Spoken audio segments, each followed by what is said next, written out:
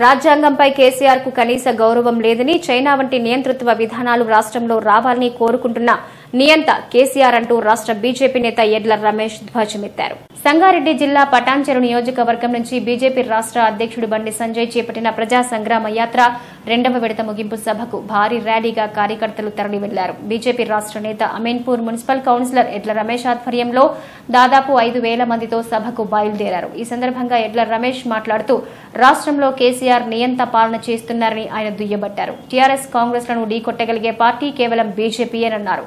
రాబోయే సార్వత్రిక ఎన్నికల్లో తెలంగాణ రాష్ట్రంలో బీజేపీ అధికారంలోకి రావడం ఖాయమని ఆయన జోస్యం చెప్పారు.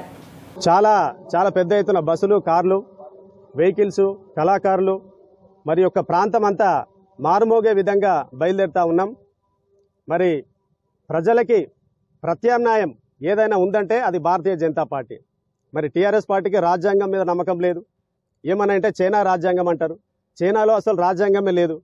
అక్కడ నియంత పాలన ఉంది. మరి అట్లాంటి నియంత పాలన మరి ఇక్కడ ఈ రాష్ట్ర ప్రభుత్వానికి కావాలి.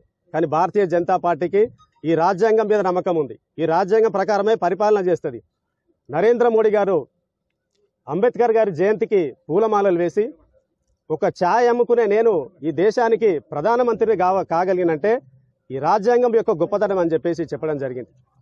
మరి అంత ఘన చరిత్ర ఉన్నటువంటి రాజ్యాంగాన్ని మార్చాలని చెప్పేసి ఒక యొక్క ముఖ్యమంత్రి గారు అనడం రాజ్యాంగబద్ధంగా ఎన్నికైన ఎన్నికై పదవిలో ఉండి మరి ఆ రాజ్యాంగం మీద నమ్మకం లేనప్పుడు పదవి దిగిపోయి అదే ఒక ఎజెండా మీద.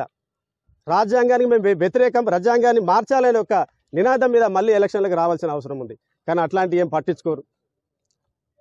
ఉన్నంత వరకు టైం గడుపుదాం. మరి మళ్ళీ ఎలక్షన్లకు పోతే గెలుస్తామో లేమో. ఉన్న సమయము అధికారాన్ని అనుభవిద్దామని చెప్పేసి ఒక ఒక ఆలోచనే సొంత లాభం తప్ప మరొక ఆలోచన లేదని చెప్పేసి సందర్భంగా తెలియజేసుకుంటాను